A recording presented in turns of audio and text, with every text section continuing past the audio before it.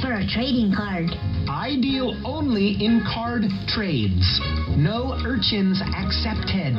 Oh, so I need to give you a trading card to get one of your trading cards? Yes, that is why they are called trading cards. Hmm? Are you sure you won't take a purple sea urchin? Yes, I am sure. I accept card trades only. Are you sure you won't take a purple sea urchin? Yes, I am sure. I accept card trades only. Are you sure you won't take a purple sea urchin? Yes, I am sure. I accept card trades only. How about a purple sea urchin? Trading is my game. I accept no currency.